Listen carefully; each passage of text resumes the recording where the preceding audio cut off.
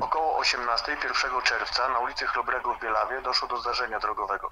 35-letni kierujący samochodem Audi nie ustąpił pierwszeństwa przejazdu 44-letniej rowerzystce, doprowadzając do zderzenia. Na szczęście nikt nie odniósł poważnych obrażeń, a sprawca został ukarany mandatem.